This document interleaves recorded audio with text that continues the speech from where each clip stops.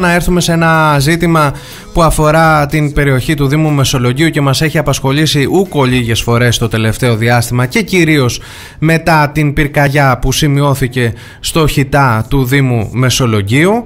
Σήμερα είχαμε ένα νέο επεισόδιο, ας το πούμε έτσι, σε αυτή την υπόθεση γιατί ο Δημοτικός Σύμβουλος της Παράταξης Συμμαχία για το Μέλλον, ο κύριος Πάνος Παπαδόπουλος, έδωσε στη δημοσιότητα κάποια έγγραφα τα οποία μιλούν για πολύ σοβαρές και πολλές στον αριθμό παραβάσεις που διαπίστωσαν τα αρμόδια όργανα. Έγγραφα που έρχονται από το Δασαρχείο Μεσολογγίου αλλά κυρίως από το Κέντρο Ελέγχου Ποιότητας Περιβάλλοντος, το γνωστό ΚΕΠΕ, που έκανε αυτοψία στο χώρο του Χιτά και διαπίστωσε πάρα, μα πάρα πολλά πράγματα. Για το ζήτημα αυτό θα μιλήσουμε με τον ίδιο τον ε, αίτιο αυτής της αποκάλυψης, τον Πάνο Παπαδόπουλο που είναι στην άλλη άκρη της τηλεφωνικής μας γραμμής. Καλημέρα σας, κύριε Παπαδόπουλε. Καλημέρα, καλημέρα στους ακροατές και τι ακροατρίες Λοιπόν, εγώ διαβάζω εδώ τα έγγραφα που μου, που, που μας στείλατε, που δώσατε στη δημοσιότητα και βλέπω ε, ούκο λίγα τον αριθμό πράγματα να έχουν γίνει λάθος στο ΧΙΤΑ και να έχει διαπιστώσει εκεί πολλές παραβάσεις ε, το ΚΕΠΕ. Και από ό,τι έχω καταλάβει μια προβληματική κατάσταση που προϋπήρχε σε μεγάλο βαθμό έχει επιδεινωθεί από το, από το συμβάν το πρόσφατο της πυρκαγιάς.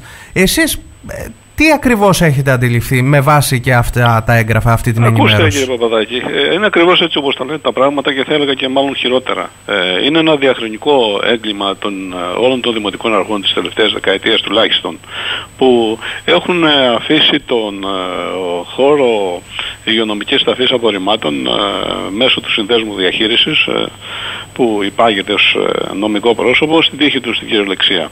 Ε, επί της ουσίας οι εκθέσεις των ε, ελεγκτών ε, δημόσιου, δημόσιους, ε, δημόσιας υγείας, οι εκθέσεις των επιθεωρητών ελεγκτών του ΙΠΕΝ, οι εκθέσεις του δασαρχείου, οι εκθέσεις της αστυνομίας, οτιδήποτε έχει να κάνει με προτάσεις και την ίδια την εφαρμογή θα έλεγα της τροποποίησης των περιβαλλοντικών όρων του χώρου οικονομικής ταφής απορριμμάτων δεν έχει εφαρμοστεί παρά σε μηδενικό επίπεδο. Να σας πω δηλαδή ότι έχω αυτή τη στιγμή μπροστά μου την ε, αναθεώρηση τροποποίηση της απόφασης για την έγκριση περιβαλλοντικού όρου του ΧΙΤΑ, της τέταρτης γεωγραφικής ενότητας, που έχει ε, υπογραφεί από το Γενικό Διευθυντή Περιβαλλοντικής Πολιτικής της Αποκεντρωμένης Διοίκησης στις 6 12 του 2014, στις 6 12 του 2014, με χρονικό ορίζοντα δεκαετίας και με την προϋπόθεση ε, να γίνουν όλα αυτά τα πράγματα που διαπιστώνονται, που έβγαλα σήμερα στην, ε, ε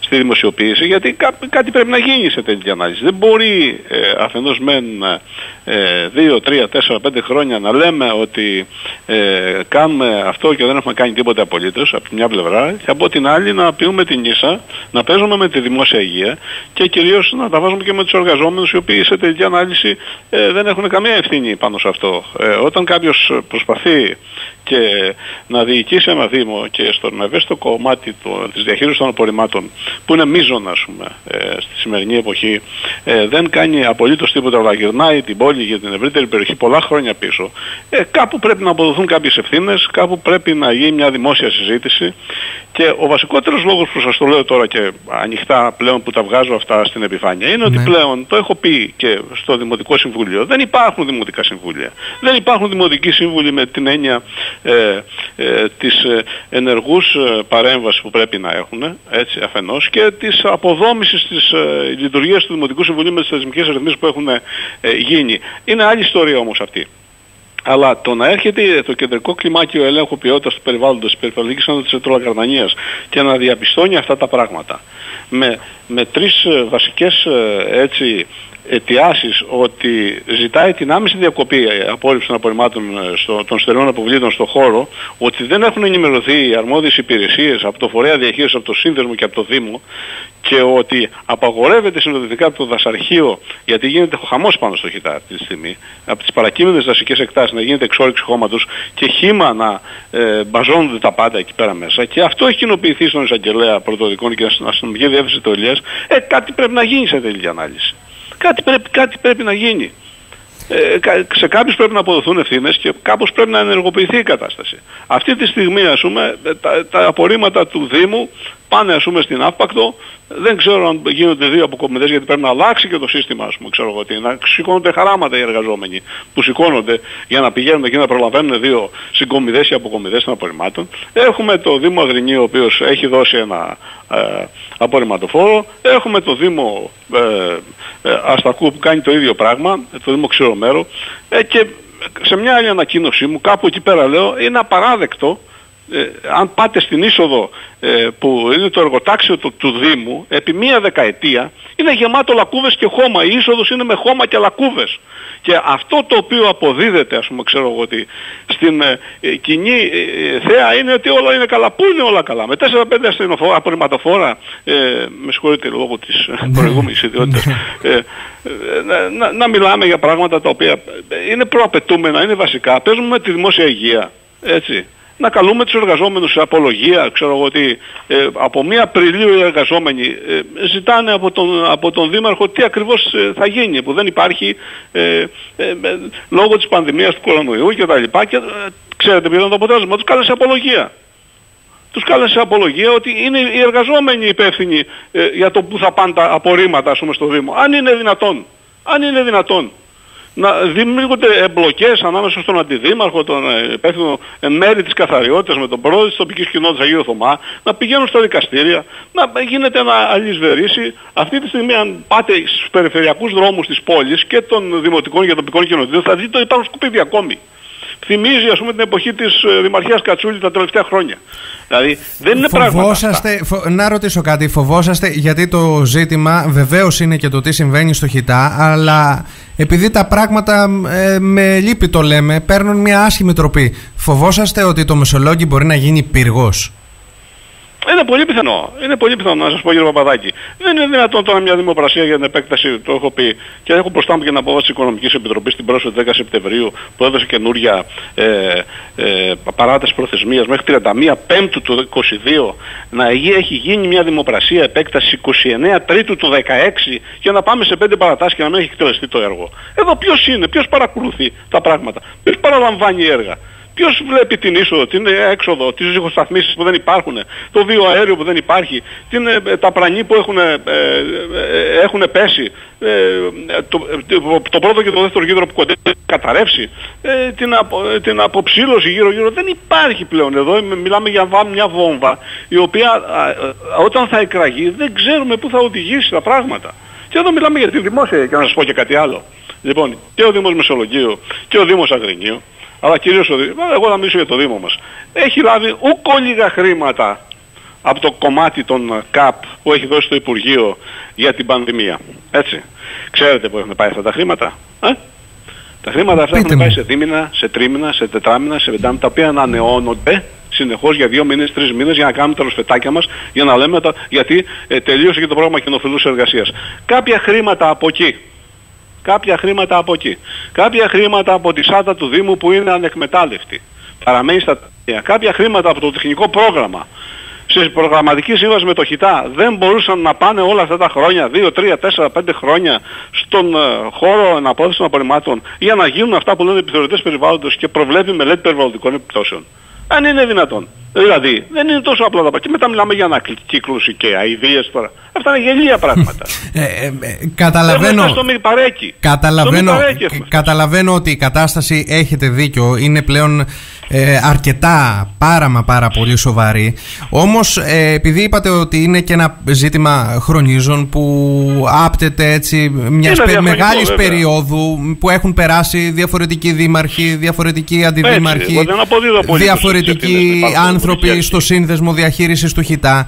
Μήπως τελικά κύριε Παπαδόπουλε επειδή το ζήτημα έχει και άλλους εμπλεκόμενους φορείς ως προς την τήρηση των νόμων ε, το Υπουργείο Περιβάλλοντος, υπηρεσίες της αποκεντρωμένης διοίκησης. Μήπως τελικά φταίει το γεγονός ότι και οι άλλοι έχουν κάπως χαϊδέψει το Δήμο Μεσολογγίου όλα αυτά τα χρόνια γιατί αν υπάρχει, μου λένε εμένα στον Άγιο Θωμά, ότι υπάρχουν ε, διαρροές τραγισμάτων στο, στο παρακείμενο ρέμα. Αν υπάρχει ναι. μόλυση περιβάλλοντος, αυτό είναι ποινικό αδίκημα.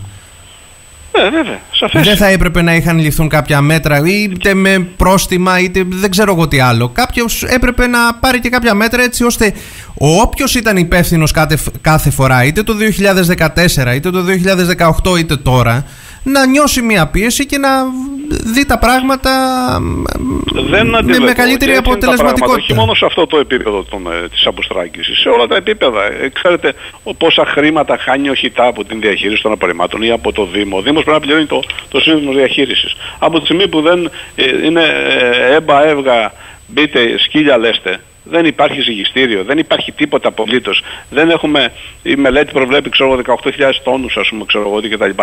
Δεν υπάρχει τίποτε. Όταν μιλάμε τίποτε, τίποτε. Μπαίνουν τα, πετάμε τα σκουπίδια και φεύγουμε. Λοιπόν, εάν πάτε σε ένα, σε ένα σύγχρονο ε, χώρο υγειονομικής ταφής απορριμμάτων, στη Βόρεια Ελλάδα, στην κάτω, στην Θεσσαλία κτλ. στην Πελοπόννησο, θα δείτε ότι ε, ε, αυτό είναι ντροπή. Είναι ντροπή σαν τη Μαρίνα, τη δική μας που είναι μια ντροπή. Λοιπόν, σχέση με τη Λευκάδα την Πρέβεζα, έτσι. Αυτά ε, προ, προφανώς και είναι θέμα συναρμόδιων υπηρεσιών και αποκεντρωμένης και περιβάλλοντος και όλων αυτών. Και σε τελική ανάλυση δεν ξέρω, τι, τι να πω, δηλαδή ό,τι και αν πω ας πούμε είναι λίγο. Ε, πάντως υπάρχει μεγάλος σοβαρός κίνδυνος. Σοβαρός κίνδυνος για τη δημόσια υγεία, για την καταστροφή και τα οικονομικά δεδομένα είναι πολύ σφιχτά και σε τελική ανάλυση ε, πρέπει τουλάχιστον τα 3, 4, 5 βασικά πράγματα να γίνουν και να επιταχυνθούν οι διαδικασίες ολοκλήρωσης αυτού του έργου που έχει γίνει η γεφύρη της Άρτας. Ναι. Δεν είναι δυνατόν ναι. από το 2005 χρόνια να μην έχει εκτελεστεί η επέκταση του χιτά.